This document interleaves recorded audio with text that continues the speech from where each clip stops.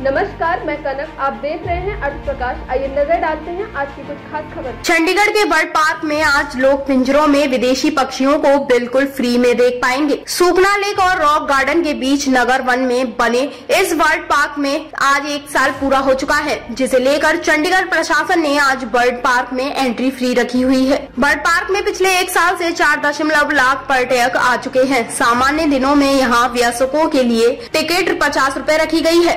वहीं विदेशी पर्यटक के लिए टिकट का रेट सौ रूपए तय किया गया है। पाँच वर्ष से बारह वर्ष तक के बच्चों के लिए टिकट तीस रूपए है। पालतू पक्षियों के सेक्शन में जाने की टिकट का रेट बच्चों और बड़ों के लिए सौ रूपए है। विदेशियों के लिए पाँच सौ रूपए है। पिछले वर्ष सोलह नवंबर को पूर्व राष्ट्रपति रामनाथ कोविंद की पत्नी सविता कोविंद ने इस वर्ल्ड पार्क का उद्घाटन किया था। नगर वन में बने इस वर्ल्ड पार्क में नौ से अधिक विदेशी पक्षी रखे गए हैं। बीते मंगलवार यहाँ पंद्रह नए बजरीगर बर्ड पार्क में शामिल किए गए थे। ये वही वहीं पर्यटकों की सुविधा के लिए यहाँ नगर वन में एंट्री गेट पर टिकट काउंटर खोला गया है। पहले ये 200 मीटर अंदर की तरफ़ था। बर्ड पार्क छह दशमलव एकड़ में फैला हुआ है। पर्यटक नगर में वन में दाखिल होकर बर्ड पार्क की तरफ़ जाते हैं। वही नगर वन में एंट्री शहर गार्डन की तरह पूरी तरह निशुल्क है। लगभग सौ एकड़ में फैले नगर वन में बच्चों के लिए झूले और कई प्रकार का अन्य आकर्षण मौजूद है। चंडीगढ़ प्रशासन का फॉरेस्ट विभाग सत्तर लाख की कीमत से सत्तर विदेशी पक्षी खरीदने जा रहा है।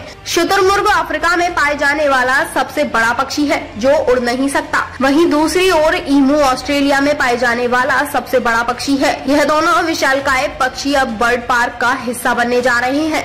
ताज़ा अपडेट्स व बड़ी खबरों के लिए सब्सक्राइब करें आज प्रकाश टीवी और बेल आइकन दबाना